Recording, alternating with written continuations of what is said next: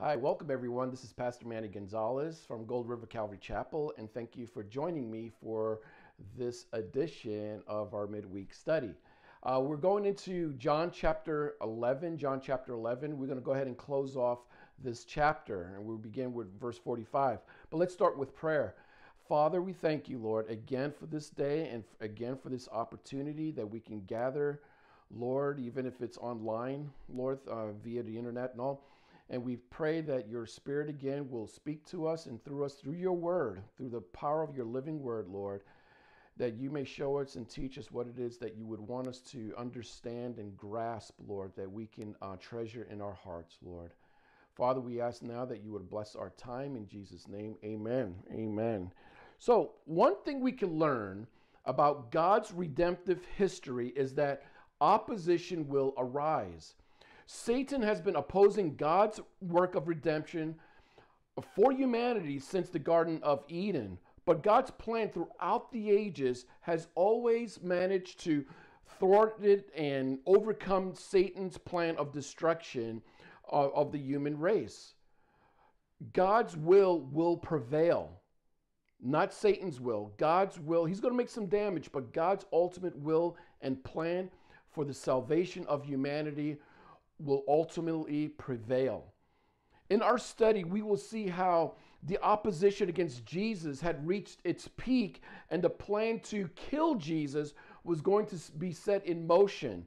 But what opposition Satan or man had intended against Jesus would eventually backfire for what they thought was just simply killing off uh, a, a, just a mere man, Jesus. Jesus' action on the cross will become one of the greatest interruption or intervention for the souls of humanity.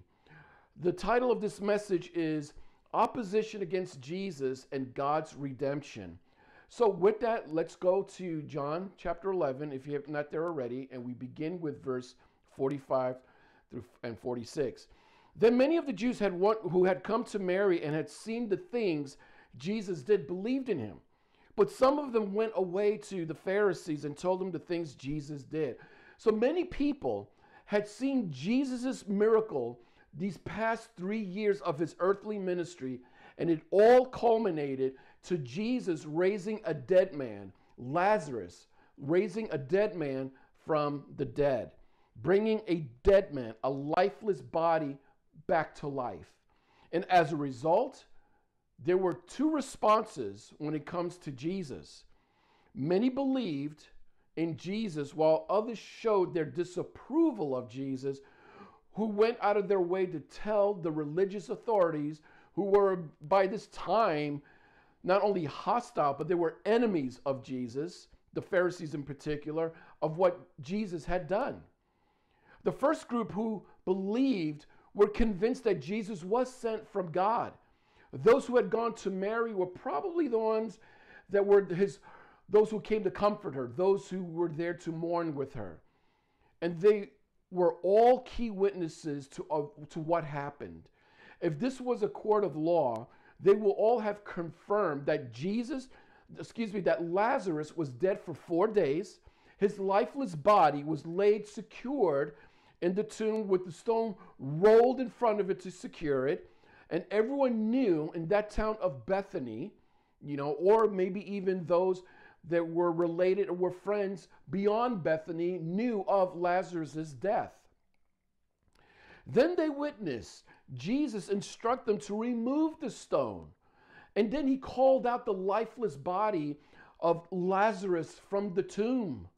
They witnessed Lazarus walking out of the tomb wrapped in his grave clothes from head to toe you know, uh, one can experience the stench that came, that, that came out of that tomb when the tomb was opened. All this to say is that they all witnessed Jesus. These are all eyewitnesses, firsthand account of Jesus raising a dead man, Lazarus, from the dead. And then have you been if you've been following the first 11 chapters of the Gospel of John, Jesus was making the claim that he was indeed sent from the Father, that they may have, they may believe in him and may have life in him. But not only did this group were convinced he was sent from God, but the miracles proved to help his claim as being one sent from the Father, that he was the I ams. He was the coming prophet that Moses spoke of. And then, I mean, again, bringing a dead person back to life, I'm sure that just put them over the top. They believed in Jesus. But then there were others, in spite of knowing how Jesus raised Lazarus from the dead. It's amazing. They, they rejected Jesus. They witnessed what happened, and yet their hearts were hardened. In fact, they rejected Jesus so much that they reported um, to the Pharisees of what Jesus did. And by reporting to Jesus, it wasn't um, it's, uh, seen as something positive, but this was something uh, seen as something negative. I mean, they were ratting out Jesus, all right? Whatever um, they had to say, they had to do anything about Jesus, they made sure that they went and straight to the religious authorities to let them know what was Jesus up to. Okay, they were no friends of Christ. But to see and know what Jesus had done before many witnesses and still reject him, again, that's nothing short of a hard heart. So we have people who turned to, into believers of Christ, while others turned into spies for the religious authorities who were against Jesus. And here's the point when it comes to Jesus there is no middle ground. He doesn't allow a middle ground. If you think there is a middle ground, there is no such thing as a middle ground when it comes to Jesus. You either believe in him or you reject him. When it comes to Jesus, there is absolutely no fence sitting. There is no middle ground when it comes to Jesus. Verse 47 through 48. Then the chief priests and the Pharisees gathered a council and said, What shall we do? For this man works many signs. If we let him alone like this, everyone will believe in him, and the Romans will come and take away both our place and nation. So here, the miracle of G- Jesus raising Lazarus from the dead proved to be too much, too much for these religious elites to ignore and to let go that they called in an emergency session, an emergency council, you know, a, a meeting within the council, and the council was known as the Sanhedrin, was considered the supreme court um, during back in the time of Jesus, ancient Israel. It was made up of 70 men and the high priest. And they also had a lot of influence and power over Jewish people and over Jewish society. And the question was asked What shall we do? For this man works many signs. There was no follow up question like, shall we go back and search the scripture? Shall we go and just wait a moment and let's seek God in this? No, not at all. Look, for the past three years, if they have been following Jesus and they were following Jesus closely, they have they never encountered anyone like Jesus who did amazing miraculous things and who who taught like nobody's business. But instead of giving the benefit of the doubt and again seeking God about this Jesus, in their eyes, the only way they looked at Jesus was that he was a threat. He was a religious threat and he was a political threat. In fact, I want to mention about them not even praying to God again because for what we have been studying in the Gospel of John, you know, prayer or seeking God for guidance about Jesus was never in the cards. It was never in even in play. It's like they never sought God. But whatever they were concerned about was the fact that what they were concerned about was that Jesus had a growing effective ministry, was very popular. They were threatened that he was drawing this huge crowd of, of people, plus all the miracles that he did that not one of the religious leaders could make the claim that they had performed, not even least, not a single one. And Jesus had done many miracles, and people were following him. But what was more crucial and more important is that people were starting to believe in him. And people have come to believe in him. As far as they were concerned, they sensed that, look, this guy's like the real deal. What are we going to do with this man? But if they were sensing that, it begs the question why didn't they humble themselves and accept the claims of Jesus as one sent from the Father?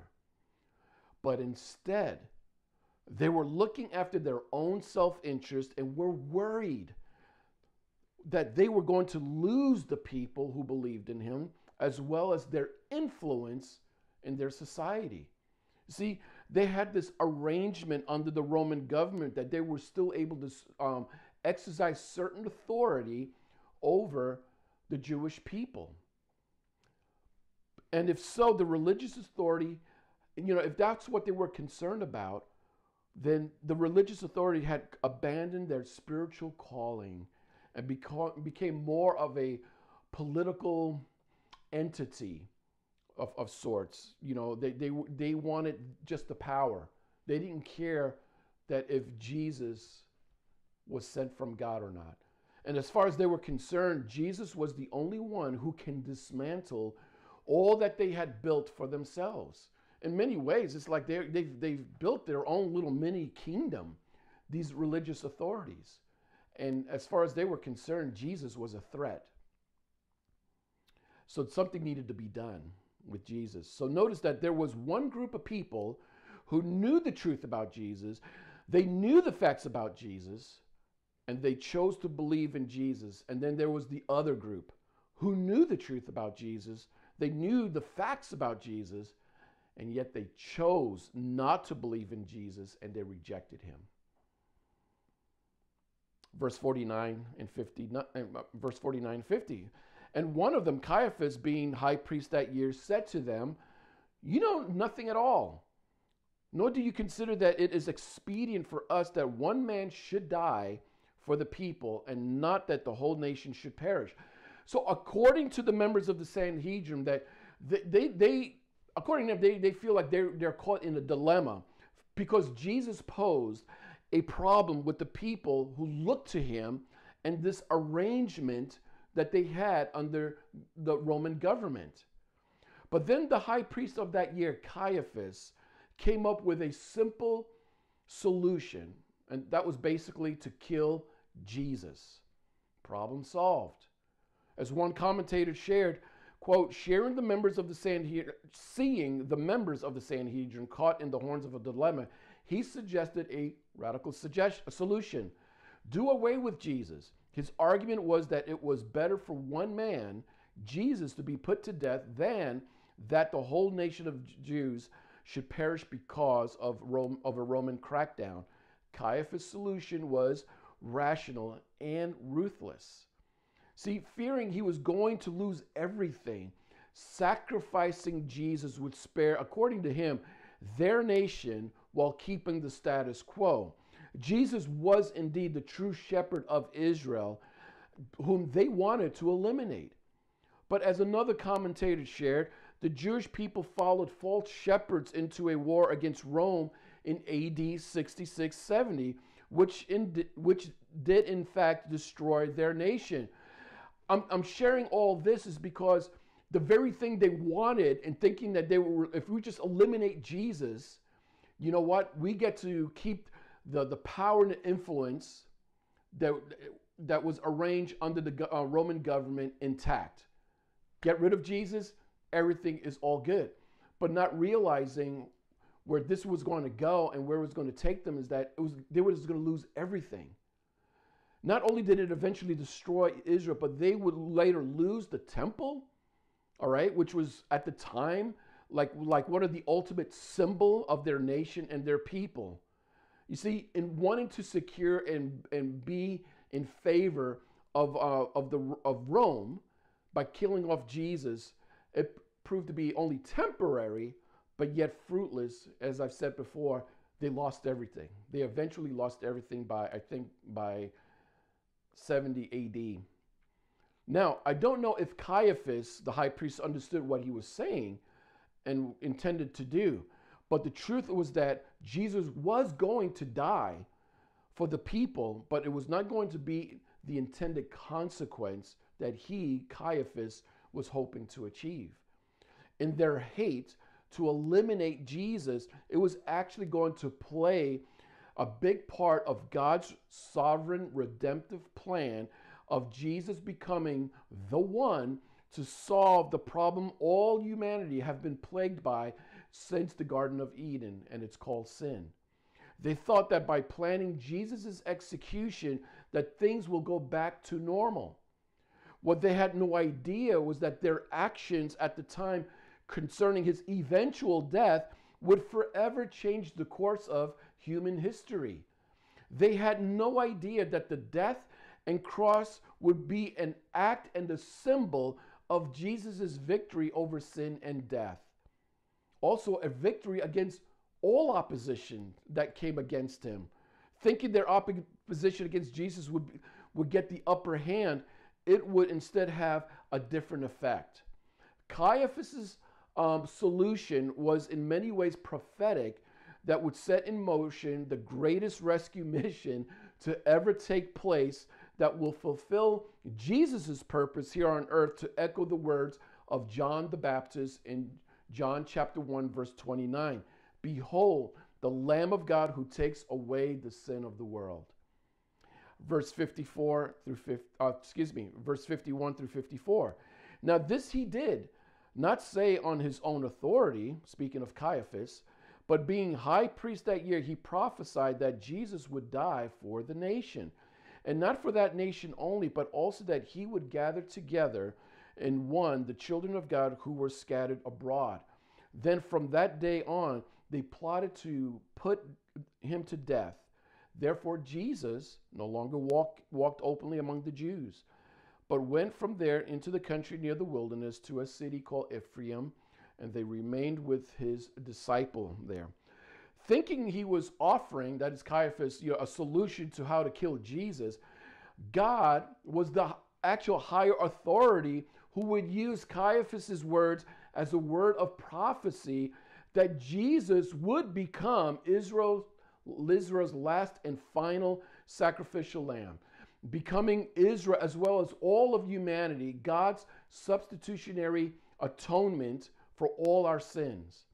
In verse in view in view of verse 52 the result of jesus' sacrifice will create a new body of people who will become one people the merging of the jews and gentiles called the church. Ephesians chapter 2 verse um, 14 through 16 says for he himself is our peace who has made both one and has broken down the middle wall of separation having abolished in his flesh the enmity that is the law of commandments contained in ordinances, so as to create in himself one new man from the two, thus making peace, and that he might reconcile them both to God in one body through the cross, thereby putting to death the enmity. That, that the, the two both, the body he's talking about is both Jews and Gentiles, and it was all going to be done through the cross the Sanhedrin compromised, I mean, uh, comprised of, the Sanhedrin comprised mainly of Sadducees and Pharisees. Historically speaking, they didn't always see eye to eyes in everything. But there is something, or there is nothing, like uniting two opposing teams together over one common denominator to find and bring a solution. And in this case, was to kill off Jesus. So, the plot to kill Jesus was agreed upon and now is set in motion. But somehow Jesus got wind of their plot, and he presumably, maybe if he was still over in Bethany, which is not far from Jerusalem, he and the disciples escaped into this uh, area called Ephraim, which is just north of Bethany or north of Jerusalem. And there he stayed for now. Remember, though, that Jesus was under a different timetable. Jesus was on God's timetable. Thus, he was allowed to escape untouched, but for now.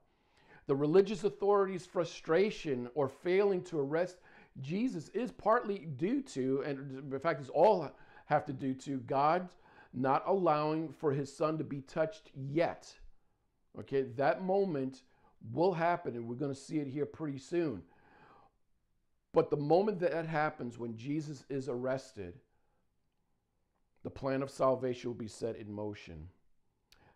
verse 55 through 57. And the Passover of the Jews was near, and many went from the country up to Jerusalem before the Passover to purify themselves. Then they sought Jesus and spoke among themselves as they stood in the temple. What do you think? That he will come to the feast?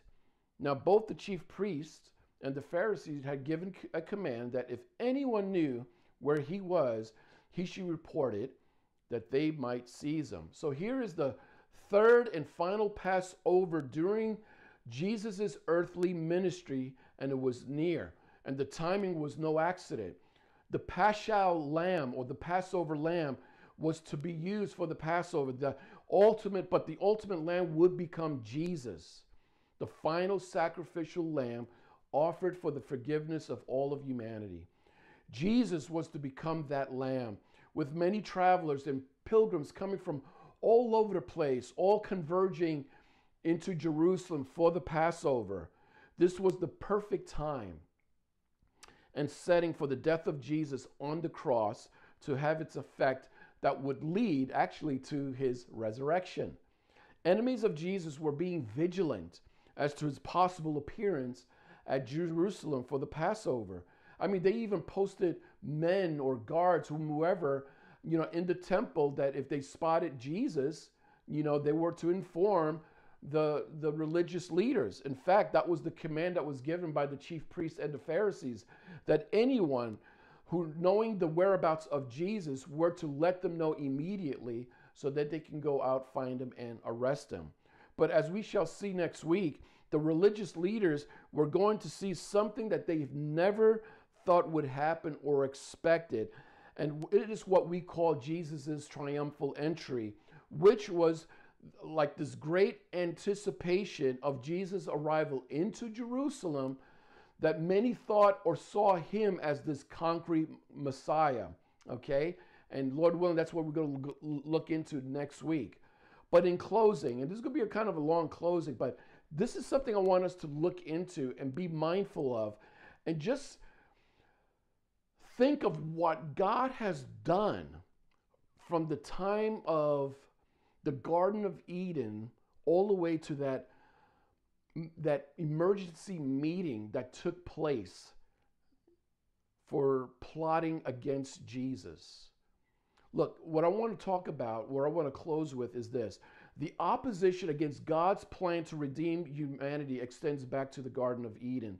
And the chief, chief opposition was, and has always been, Satan himself. And it all started when he attempted, you know, two people made in the image of God to sin against God. And Satan has not let up since then. But God set into motion his plans to redeem fallen humanity in Genesis chapter 3, verse 15, where God said, And I will put enmity between you and the woman, and the, between your seed and her seed. That one, her seed, that the word seed is capitalized, a, a capital S, his her seed. He shall bruise your head, and you shall bruise his heel. The seed would be Jesus, who would become the Savior for all of humanity at an appointed time. The seed was foretold that he would ar- arrive, but eventually will crush Satan. Thinking with the increase of sin, Satan would have all, you know, have uh, all of humanity under the tyranny of sin, thus destroying one another. And all. But God wiped all of humanity because because of sin by a, this global flood, saving except you know with the exception of saving Noah and his family. Thus God sparing the human race, not sparing just a family. God spared humanity through this one family from Satan trying to wipe out everyone made in God's image.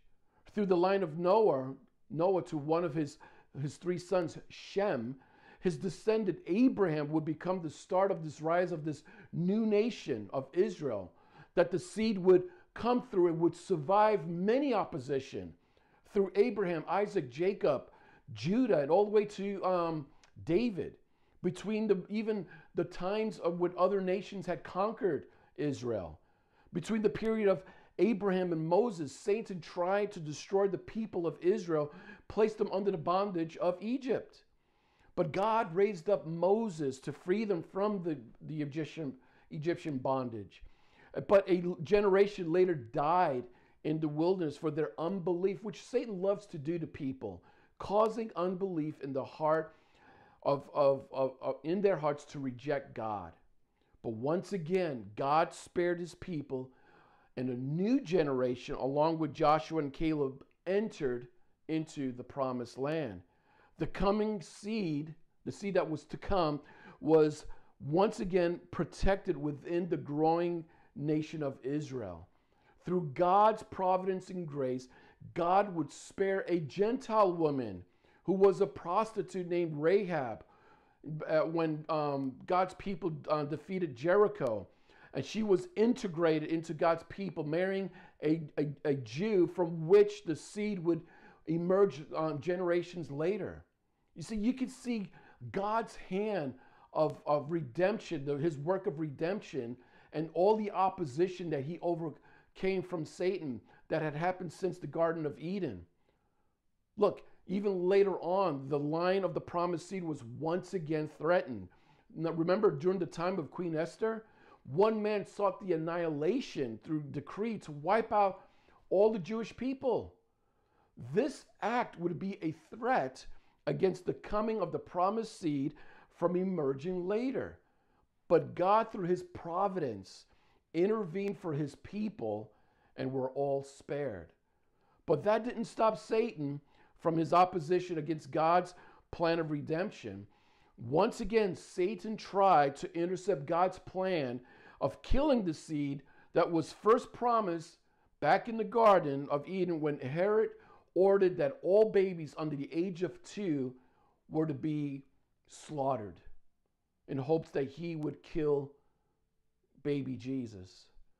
But again, God spared uh, God's people and the seed that did finally come to fruition and they were they managed to escape that horrific slaughter furthermore it was not beneath satan to use two of Jesus's disciples in his attempt to keep Jesus from being humanity's savior and redeemer, Satan would use Judas to betray Jesus for 30 pieces of uh, silver, handing Jesus over to the religious authorities if he knew he, you know, whether he knew he was um, being used by Satan or not.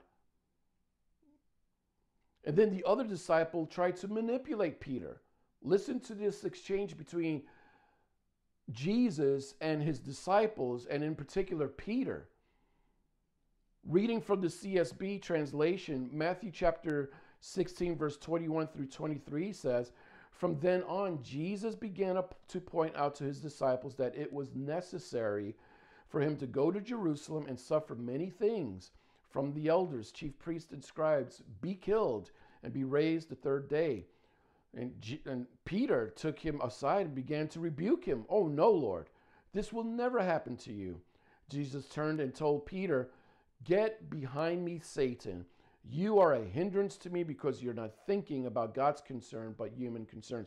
So, though Peter did not want Jesus to die, Satan took advantage of this opportunity to use Peter as a pawn to prevent Jesus from being crucified. Jesus, recognizing that Satan was behind this, and said, Get thee behind me, Satan. This was really a duel between Jesus and Satan that harkened back in Matthew chapter 4 when Jesus was in the, temp- uh, in the wilderness tempted by Satan three times. It was the third and final temptation that Satan trying to alter God's plan of redemption. How, you might say? Well, Matthew chapter 4, verse 8 through 11a says, Again, the devil took him up on an exceedingly high mountain and showed him all the kingdoms of the world and their glory. And he said to him, All these, all these things I, I will give you if you will fall down and worship me.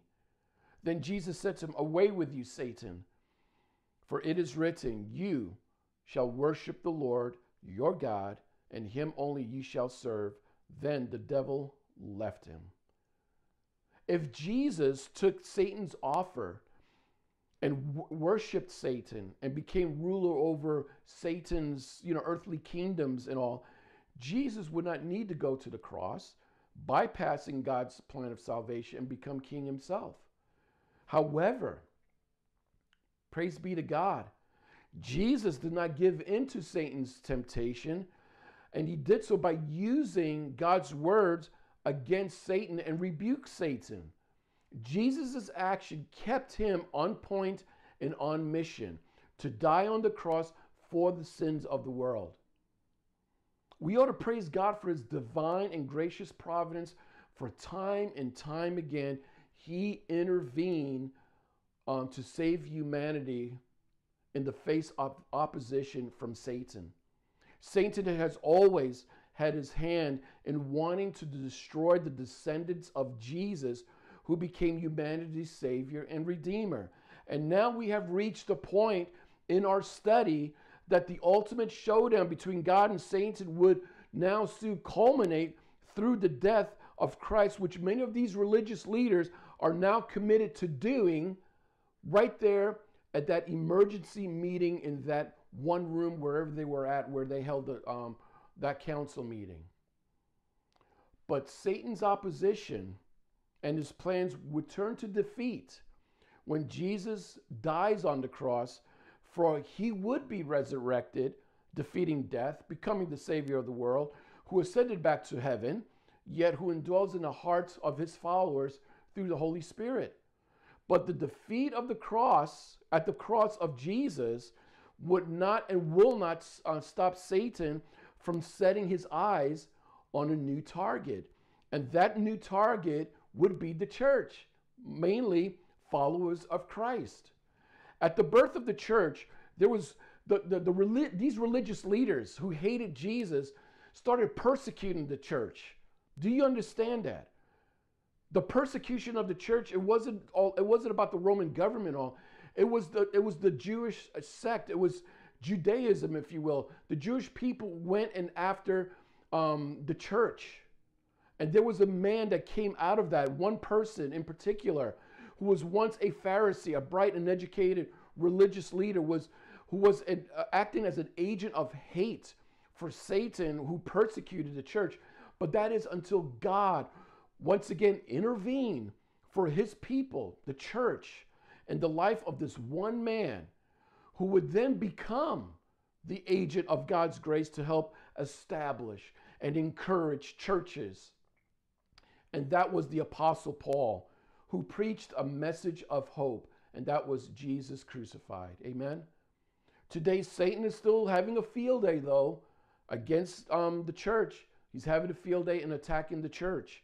He continues to attack every follower of Christ, for he knows an attack on God's children is an attack on him. He knows an attack on God's children in Christ Jesus is an attack on God Himself. Satan thinks that he has the upper hand, but God always overcomes Satan and his plans. But this does not mean that Satan is done or nor is he just sitting around doing nothing. However, one thing we can learn about God's redemptive history is that his plans will always foil, frustrate, and overcome Satan's plan and destruction. So, we can see a history, a pattern from Satan wanting to destroy his opposition against God's redemptive work since the beginning of time, since the Garden of Eden. But I want us to leave off with a few promises of God from his word. First, remember, First John, First John chapter 4, verse 4 says, You are of God, little children, and have overcome them, because he who is in you is greater than he who is in the world. In other words, Jesus, who is in us, is greater than he who is Satan, the prince of this world. Okay? Secondly, in reference to the body of Christ, the church, Matthew chapter 16, verse 18 says, reading from the New Living Translation, Jesus said, Upon this rock, speaking of himself, I will build my church, and all the powers of hell will not conquer it. All the powers of hell will not prevail against God's church, the body of Christ, the believers. Satan will use any event and opportunity to silence the church or deem it non essential, but God will not allow his church to be ineffective against growing opposition that Satan may throw our way, but will thrive under hardships. And then, thirdly, Satan will be defeated once and for all because Revelations chapter 20, verse 7 through 10 records Satan's demise. It records Satan and his allies making one final push against the King of Kings and Lord of Lords, Jesus. And Satan will fail.